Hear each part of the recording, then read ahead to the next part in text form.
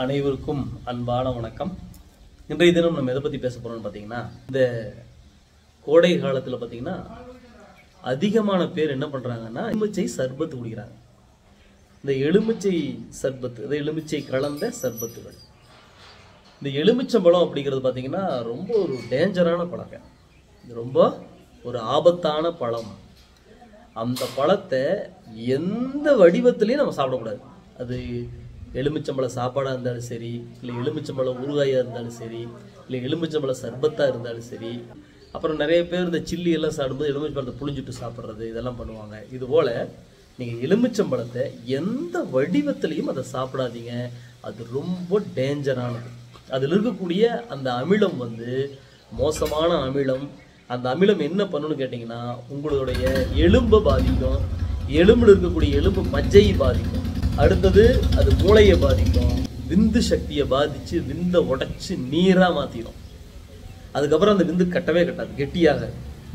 அதனால் எக்காரணத்தை கொண்டும் இந்த எலுமிச்சம்பழத்தை வந்து உபயோகப்படுத்தாதீங்க. நிறைய பேருக்கு தெரியறதில்ல. அதனால தான் இந்த பதிவு நம்ம போடுறோம். எலுமிச்சம்பழம் அப்படிங்கிறது ரொம்ப ஒரு மோசமான ஒரு பழம். எப்படி இந்த எலுமிச்சம்பழத்தை சாப்பிட்ற பழக்கம் வந்து எனக்கு தெரியல. ஆனால் அதை வந்து வெளிப்புறமாக நம்ம பயன்படுத்தலாம். அதாவது வெளிப்புறமாக ஏதாவது ஒரு காயங்களுக்கு அடிபட்டதுக்கு ரெண்டாவது தலைக்கு தேய்ச்சி குளிக்கிறதுக்கு அதெல்லாம் எந்த பிரச்சனையும் கிடையாது. ரொம்ப நல்லது தான் ஆனால் உள்ளே சாப்பிட்றதுக்கு எலுமிச்சம்பழத்தை பயன்படுத்தவே கூடாது. இப்போ நிறையா பேர் சித்த மருத்துவரில் என்ன தப்பு பண்ணுறாங்கன்னா பழச்சாறு விட்டு அரைத்து அப்படின்னா எல்லாரும் எலுமிச்சம்பழச்சாறு விட்டு அரைக்க ஆரம்பிச்சிடுறாங்க. தயவு செஞ்சு எலுமிச்சம்பழச்சாறு விட்டு அரைக்காதீங்க. பழச்சாறு அப்படிங்கிறது பரிபாஷை. சித்தர்கள் எல்லாமே பரிபாஷையாக தான் பேசுவாங்க. அதனால் நம்ம என்ன பண்ணணும்? சாத்துக்குடி அப்படின்னு ஒரு ப- பழம் இருக்குது உங்களுக்கு தெரியும். அந்த பழத்தினுடைய சாறு எடுத்து அதை நீங்கள் ஊற்றி அரைக்கலாம். ஜூஸ் அது இல்லை அப்படின்னா கொழுமிச்சை அப்படின்னு ஒரு பழம் இருக்குது. இது வந்து நம்ம ஆண்மை சக்தி உங்களுக்கு பெருகணும் அப்படின்னு நீங்கள் நினைக்கிறவங்க ஆண்மை சக்தி பெருகிறதுக்காக பழச்சாறுட்டு அரைக்க சொல்லியிருப்பாங்க சித்தர்கள். அப்போ என்ன பண்ணணும்னா கொழுமிச்சையிலேருந்து சாறு எடுத்து ஊற்றி அரைக்கணும். இன்னும் சில பேர்த்துக்கு பார்த்தீங்கன்னா நமக்கு பித்த சம்மந்தப்பட்ட நோய்களுக்கு நம்ம மருந்து செஞ்சு கொடுக்க வேண்டியது இருக்கும். அப்போ என்ன சாறு விட்டு அரைக்கணும்னு பார்த்தீங்கன்னா மாதுளை சாறு விட்டு அரைச்சி கொடுக்கணும்.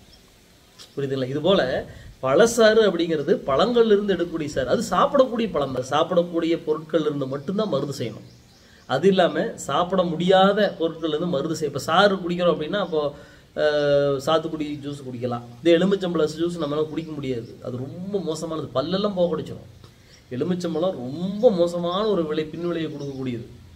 இன்னைக்கு பார்த்தீங்கன்னா சிறுவர் முதல் பெரியவங்க வரைக்கும் எல்லாரும் என்ன பண்ணுறாங்க எல்லாம் எலுமிச்சம்பழ ஜூஸ் தான் புரியுதுங்களா? அதனால எலுமிச்சம்பழ ஜூஸ் தயவு செஞ்சு யாரும் குடிக்காதீங்க. அதுக்கு பதிலாக நிறைய பழங்கள் இருக்கேன் அதுலேருந்து நீங்கள் ஜூஸ் போட்டு குடிச்சுக்கலாம். சரியா? அதனால் இந்த எலுமிச்சம்பழ ஜூஸை தயவு செஞ்சு தவிர்த்துருங்க. அதுவும் குறிப்பாக ஆண்களுக்கு பார்த்தீங்கன்னா மிகவும் மிகவும் மோசமான பின்விளைவுகளை ஏற்படுத்தும். பெண்களுக்கு கர்ப்பப்பை தொல்லைகளை கொடுக்கும். எலுமிச்சம்பழத்தை எந்த வகையிலையும் நீங்கள் உபயோகப்படுத்தாது சரியா? நல்லது மகிழ்ச்சி. மேலும் ஒரு நல்ல காலையோடு சந்திக்கிறேன். நன்றி வணக்கம்.